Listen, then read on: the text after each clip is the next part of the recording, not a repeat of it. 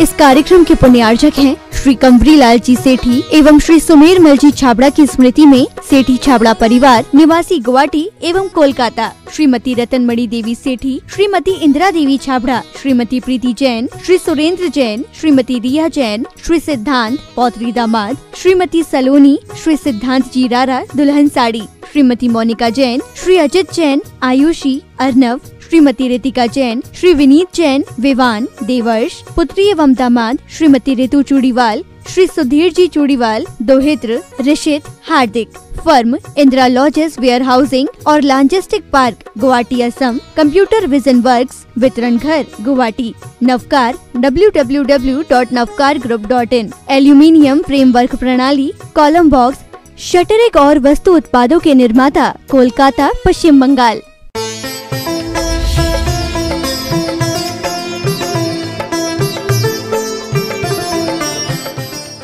ऐसा सतपथ कौन दिखाता? कौन बताता कि हमारा स्वरूप क्या है? हमारा रूप क्या है? क्या गाँव है हमारा? क्या धाम है हमारा? क्या काम है हमारा? और कैसे निष्काम होना है हमें? ये सब कुछ कौन बताता? वो स्वयं चल करके हमें सतपथ दिखलाते हैं। सच में उनका हर दिन, हर पल बहुत आनंदमय है। वैसे हम तो दो चार साल में एक बार ही उनके पास में जा पाते हैं, लेकिन हमारी जुबा पर दिन में चार बार तो आते ही आते हैं और हमारे मनोमस्तिष्क में अनगिनत बार आते हैं। जितनी बार श्वास लेते हैं, उन्हीं के नाम की श्वास लेते हैं। सच में, ये हृदय धड़कता है अगली बार जब धड़कता है तो सिर्फ़ इसीलिए कि शायद दर्शन होने वाले हैं, वो दिखने वाले हर धड़कन, हर श्वास उन्हीं की प्रतीक्षा करती रहती है। बस वो ही चाहिए, क्योंकि उन्होंने हमें वो दिया है जो अनंत अनंत, जन्म, जनता, जन्मांतरों में हम प्राप्त नहीं कर पाए। उन्होंने वो सुध हमें दी है। उन्होंने हमें वो भान कराया है जिसके लिए आत्मा प्रतीक्षा कर रही थी सदियों सदियों से। निज तत्व का अमृतपान करने के लिए, उसका दर्शन करने के लिए मैं हूँ कौन? क्या हूँ मैं? कैसा हूँ मैं? कहाँ रहता हूँ मैं? क्या लक्ष्य है मेरा? क्या उद्देश्य है मेरा? वो अंतर जगत की यात्रा करा दी गुरुवर ने। बाहर की यात्रा तो माँ बाप भी करा देते हैं, पैसा दे देते हैं। कोई रिश्तेदार भी यात्रा में ले जाते हैं, लेकिन अंतर जगत की यात्रा कराने वाला तो कोई विरला ही होता है। सच आज मन कहता है, गुरुवर, आप इस धरा पर ना आते तो न जाने हम जीवों का क्या होता। आज इन पाँच महीनों में जो अहमदाबाद में धर्म की बारिश हुई है, वो गुरुदेव के कारण ही हुई है।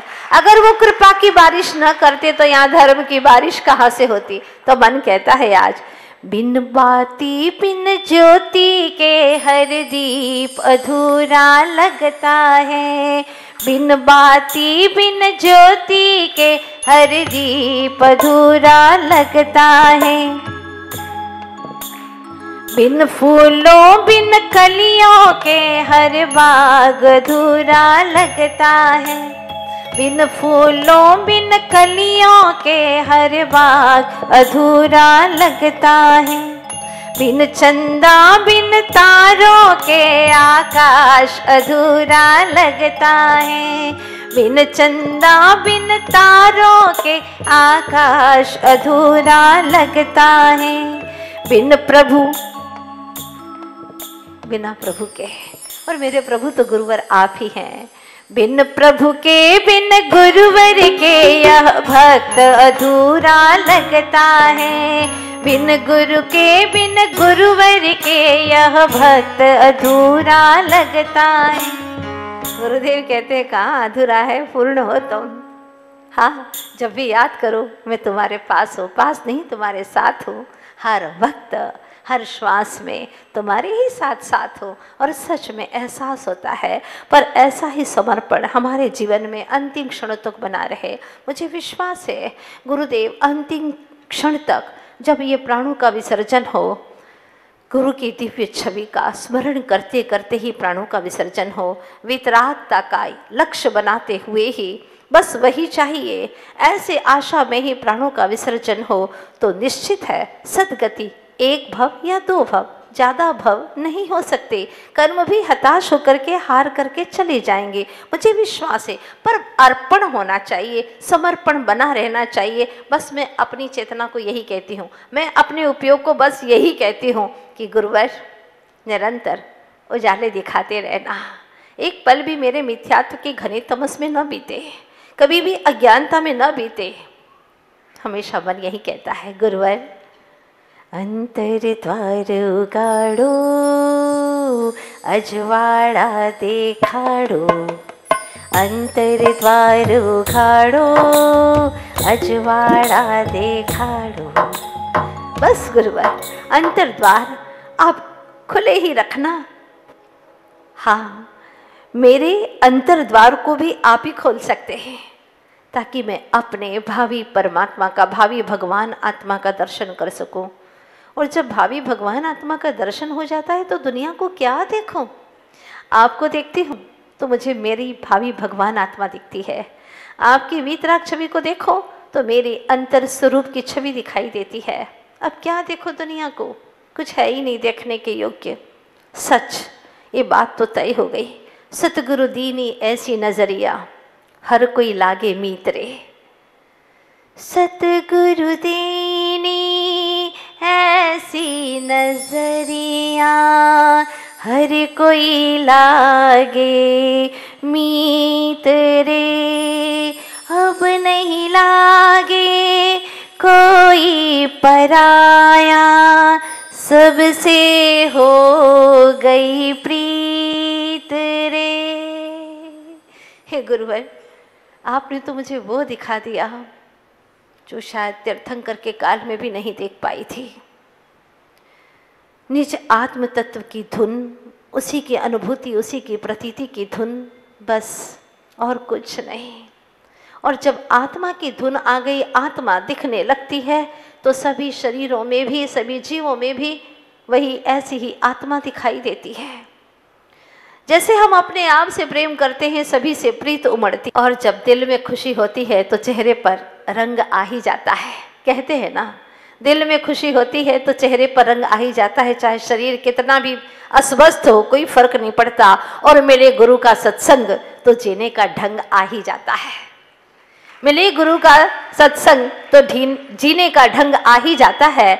बस ऐसा ही किया गुरुदेव ने। वो कहते मैंने कुछ नहीं किया, यही तो जादू किया। कुछ ना कहकर, करके आपने सब कुछ कर दिया। कैसा होता है? मैंने सुना था। गुरु के पास उस शिष्य ने सब कुछ सीखा, जो गुरु के पास में था, जो गुरु को आता था, वो सब कुछ सिखा दिया। शिष्य को अहंकार आ गया। उसने गुरु को धोखा देना चाहा। उसके भीतर में दार्शनिक होने की धुन थी और मैं सबसे बड़ा। गुरु से भी मेरे नाम, मेरी प्रसिद्धि, मेरी कीर्ति बढ़ती चली जाए। लेकिन उस मूर्ख को यह पता नहीं था कि गुरु से आप शब्द सीख सकते हैं, भाषाएँ सीख सकते हैं, ग्रंथ का ज्ञान सीख सकते हैं, पर गुरु के अनुभूति की तरंग शब्दों के माध्यम से नहीं आ सकती। ध्यान रखना गुरु जैसी अनुभूति की तरंग तो तभी आ सकती है जब ऐसे ही महान गुरु बन जाओ। और हमारे गुरु तो ऐसे ही है। चाहे लाख उनकी कोई निंदा करे, चाहे लाख उनके लिए कोई कटु करे, कैसा कटु बर्ताव करे, लेकिन वो तो ऐसे अपने आप को तैयार कर चुके हैं कि चाहे कुछ भी करे मेरे विपरीत, मेरे बारे में, मेरे प्रतिकूल में कुछ भी करता रहे पर मेरे तो स्वभाव के अनुकूल ही मैं रहता हूँ सदा। मैं अपने स्वभाव के सदा अनुकूल रहता हूँ, उन्हें कोई फ़र्क नहीं पड़ता। कोई अपना बन करके राग करने के लिए आए, या पराया होकर के द्वेष करने के लिए आए, उन्हें कोई फ़र्क नहीं पड़ता। उन्होंने अपने आप को पितराग स्वरूप से इतना कवर्ड करके रखा है इतना सुरक्षित करके रखा है कि उनके ऊपर जैसे कोई आवाज़ पहुँचती ही नहीं, जैसे कोई तरंग जाती ही नहीं। हाँ हमारी कहानी के गुरु भी ऐसे ही थे। कोई फ़र्क नहीं पड़ा। और उसका मैं बढ़ता गया। मैं मैं मैं। क्योंकि शब्दों के माध्यम से पुण्य का करार था। पुण्य तीव्रता से उसके जीवन में उदित हो रहा था। तो उसने जगह जगह विजय हासिल की। कई पंडितों को हरा दिया। और अब एक बहुत बड़ा पंडित था। गुरु के समकक्ष पंडित था। जब वो सामने आया, उसको ललकारा उसने, शिष्य ने। और कहा, मैं तुमसे वाद विवाद करना चाहता हूँ। ठीक है वाद विवाद शुरू हुआ। पुण्य का बहुत प्रबल उदय था। उसने उस बड़े पंडित को भी हरा दिया। अब वो प्रतीक्षा कर रहा था कि गुरु मेरी तारीफ़ करे, मेरे लिए प्रशंसा के शब्द उभारे, कहें। लेकिन गुरु चाहते थे कि तेरा मैं मिटे मैं मिटे और तेरा स्वरूप उभरे, पर उसका मैं मिटा नहीं। वो सोचता रहा कि गुरु मेरी तारीफ़ करेंगे। मैंने इतनी बड़ी जंग जीती है। शब्दों से जीत भी लिया तो क्या? किसी के दिल को जीतो तो समझे कि तुमने जीता है। और जो दूसरों के दिलों को जीतता है, वही कर्मों को जीत पाता है। ये तय बात है। जिसे हम जिन कहते हैं, जिन कहते हैं जो अष्ट कर्मों को जीते, सो जिन है, जो कषायों को जीते, वो जिन है, जिनेन्द्र भगवान है वहाँ। गुरु ने कुछ नहीं कहा। पंडित जी के जाने के बाद में वह गुरु के पास में जाता है। गरम गरम लोहे पर अगर चोट कर दी जाए तो उसका आकार बनाया जा सकता है। ऐसा ही हुआ। वह गुरु के पास खुद चल करके गया। जब गुरु ने कोई शब्द नहीं बोला उसके भीतर में मांग तिल मिला रहा था। अहंकार को चोट लग रही थी कि गुरु ने मेरे लिए कुछ भी नहीं कहा। पर गुरु सामान्य नहीं होते वो बहुत विशेष होते हैं। भगवान के समतुल्य होते हैं। यहाँ तक कि भगवान तो मौन रहते हैं, पर गुरु मुखर होते हैं। भगवान हमारी गलतियों को बताते नहीं है, लेकिन गुरु हमारी गलतियों को बताते हैं बहुत बड़ी विशेषता है। कोई तो हो जो हमारी गलतियों को बता सके। और जो हमारी गलतियों को बताते हैं, वो हमारे लिए प्रणम्य होते हैं। अज्ञानी जीव, अगर कोई गलती उसकी बताता है तो वो चिढ़ जाता है। वो उनके प्रति द्वेष करना शुरू कर देता है।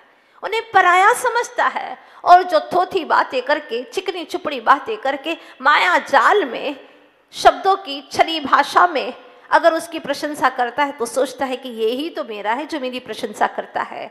कैसे समझाए उन्हें?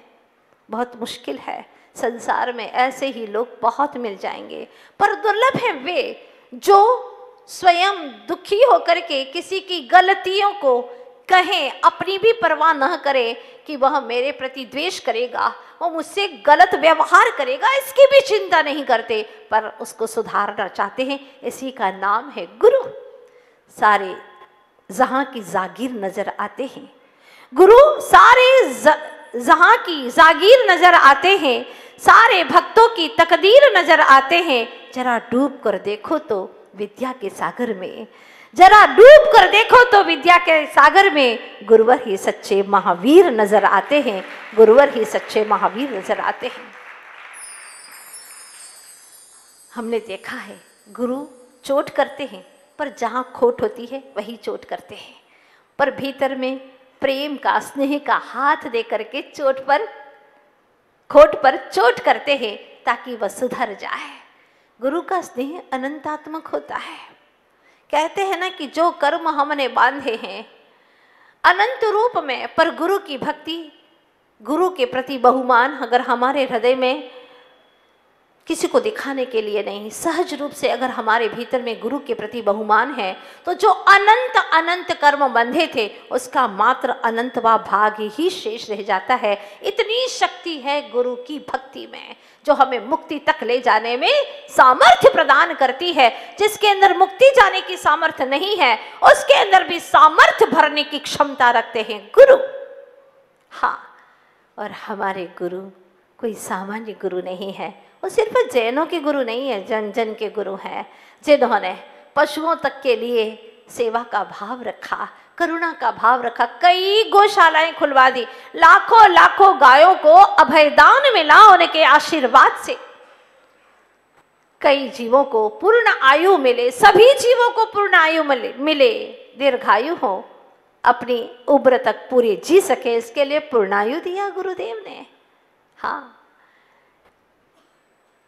औषधालय, चिकित्सालय।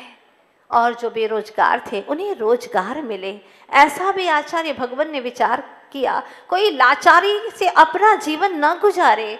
और शिक्षा बहुत महत्वपूर्ण साधन है। एक तरफ़ दीक्षा है तो दूसरी तरफ़ शिक्षा है। इसके लिए आप ये देख रहे छोटी छोटी बालिकाओं को आचार्य भगवान ने प्रतिभा स्थली का रूप दे करके इन बहनों को वहाँ पर निशुल्क अध्ययन के लिए रखा ताकि बालिकाओं के अंदर संस्कार आए। एक बालिका पढ़ेगी संस्कारों के साथ में तो वह उभय कुल का वर्धन करेगी। इस तरह से आचार्य भगवान ने बिल्कुल दीर्घ सूत्री जीवन प्रदान किया है। अपने बहुत ही गहरी और लंबी सोच के माध्यम से आज पूरे देश का कल्याण हो, विश्व के हर प्राणी के अंदर सुख और आनंद की धारा बहे, ये विचार करते हुए आचार्य भगवान ने ऐसे ऐसे सत्कार्य किए हैं। भले ही उनकी उम्र आज सतहत्तर वर्ष की पूर्ण हुई है, लेकिन उन्होंने अपने जीवन के पचपन वर्ष तो दीक्षा में व्यतीत कर दिए। संयमित जीवन, हर पल पल। संयमित जीवन में जिन्होंने गुजारा है, उनके हर पल के संयम को प्रणाम करती हूँ। उनके उस शुद्ध और शुभ उपयोग को प्रणाम करती हूँ। उनके जीवन की जो समिति और गुप्ती रूप दशाएँ हैं, उसको मैं प्रणाम करती हूँ। गुरुदेव, आपके विचारों को प्रणाम करती हूँ। आपकी जो आचरण की दशा है, उसको प्रणाम करती हूँ। आपके हर पल पल के जीवन को प्रणाम करती हूँ, गुरुवर। सच में आप धन्य हैं। आपने जन्म लेकर के सार्थक कर दिया। फिर कहती हूँ, किसी की चार दिन की ज़िंदगी सौ काम करती है, किसी की सौ वर्ष की ज़िंदगी कुछ भी नहीं करती। धन्य है गुरुदेव, जिन्होंने आपने इस जीवन के अंदर कई जन्मों के काम समेट लिए, और लगता है बस एक या दो भव शेष है और आप शीघ्राति शीघ्र, अगर इस काल में भी मुक्ति होती तो आप मोक्ष चले जाते, क्योंकि आपके जीवन की साधना इतनी संयमित है, इतनी संतुलित है। गुरुवर, आपको मैं प्रणाम करती हूँ। लेकिन जिसकी मैं कहानी सुना रही हूँ ना हाँ अभी तो वह बिल्कुल विपरीत मार्ग पर चल रहा है। देखते हैं, गुरु की गुरु की एक वचन की एक भाषा के आलंबन लेकर के उसका जीवन कितना परिवर्तित हो जाता है। वो आया है गुरु के पास में कि, गुरुदेव, मेरी पीठ थपथपाएँगे और कहेंगे, तुमने मेरा नाम रोशन कर दिया, पंडित को जीत लिया, बहुत बड़े पंडित को जीत लिया। लेकिन गुरु जी तो कुछ नहीं बोले।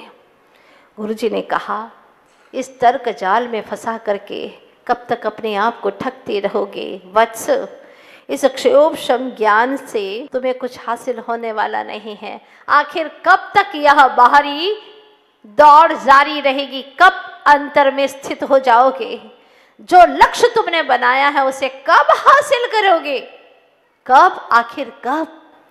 गुरु ने अपने अंतर मन से कहा था और शिष्य के भीतर के द्वार खुल जाते हैं। आखिर कब तक बोलते रहोगे? बोलो, कब तक यह वाद विवाद में पढ़ते रहोगे, कब तक? अपने आत्मा से संवाद कब करोगे? बोलो। कुछ नहीं बोला। अंतर द्वार उखाड़ो, अजवाड़ा देखाड़ो, अंतर द्वार उखाड़ो, गुरु अजवाड़ा देखाड़ो। हे गुरुवर, आप ही हैं जो आपके प्रति भी अहंकार करूँ तो उस अहंकार को तोड़ने में सक्षम है तो आप ही हैं। भगवान नहीं तोड़ पाएँगे, वो आप ही तोड़ पाएँगे। और उसके भीतर के द्वार खुल गए। हो गया दिव्य प्रकाश उसके भीतर में। और कहते हैं, उसका नाम था अर्पण। अब वह जीवन भर तक के लिए हो गया समर्पण। और उसने जीवन में कभी भी अपना मुख नहीं खोला, अधर नहीं खोले। वो जीवन पर्यंत के लिए मौन हो गया।